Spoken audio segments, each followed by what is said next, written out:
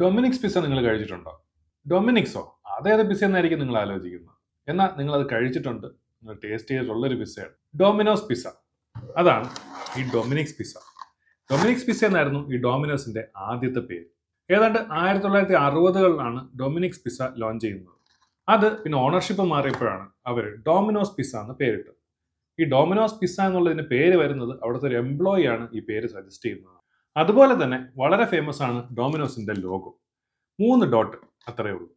ഈ മൂന്ന് ഡോട്ട് എന്ന് പറയുന്നത് ഇവരുടെ ആദ്യത്തെ മൂന്ന് ഔട്ട്ലെറ്റുകളാണ് ആദ്യത്തെ ഇവരുടെ പ്ലാൻ എന്തായിരുന്നു എന്ന് വെച്ച് കഴിഞ്ഞാൽ ഓരോ സ്റ്റോർ സ്റ്റാർട്ട് ചെയ്യുമ്പോഴും ഈ ലോഗോയിൽ ഓരോ ഡോട്ട് ഇടാമെന്നായിരുന്നു പക്ഷേ പെട്ടെന്നാണ് ഡോമിനോസ് വളർന്നത്. ഇന്നിപ്പോൾ ഏതാണ്ട് ഇരുപതിനായിരത്തിന് മേളിൽ സ്റ്റോർ അവർക്കുണ്ട്. ഏതാണ്ട് തൊണ്ണൂറ് രാജ്യങ്ങളിലായിട്ട്. അപ്പോൾ ഈ ഡോട്ട് ഇടാൻ തുടങ്ങിക്കഴിഞ്ഞാൽ ഇത് മൊത്തം അവർ ഡോട്ട് ഇടേണ്ടി വരും. അതുകൊണ്ടാണ് ഈ മൂന്ന് ഡോട്ടിൽ അവർ ഒതുക്കിയത്. പിന്നെ ഡോമിനോസ് വളർന്നതിൽ ഇന്ത്യക്കാർക്ക് വളരെയധികം പങ്കുണ്ട്. എന്തെന്ന് വെച്ച് കഴിഞ്ഞാൽ ഡോമിനോസ് ഇന്ത്യയിൽ വന്നത് ലേറ്റായിട്ടാണെങ്കിലും യു എസ് എ കഴിഞ്ഞു കഴിഞ്ഞാൽ ലോകത്തിൽ ഏറ്റവും കൂടുതൽ ബ്രാഞ്ചസ് ഉള്ളത് ഇന്ത്യയിലാണ്. ഇവിടെ എല്ലാം കൂടി ഡോമിനോസ് വിൽക്കുന്നത് മൂന്ന് മില്യൺ അല്ലെങ്കിൽ മുപ്പത് ലക്ഷം പിസയാണ് ഒരു ദിവസം വിൽക്കുന്നത്.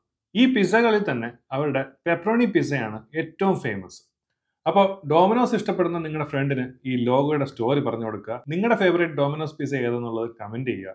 പിന്നെ ഇങ്ങനത്തെ ഇൻട്രസ്റ്റിംഗ് സ്റ്റോറീസ് കാണാൻ താല്പര്യമുണ്ടെങ്കിൽ നമ്മുടെ ചാനൽ സബ്സ്ക്രൈബ് ചെയ്യുക ഫോളോ ചെയ്യുക.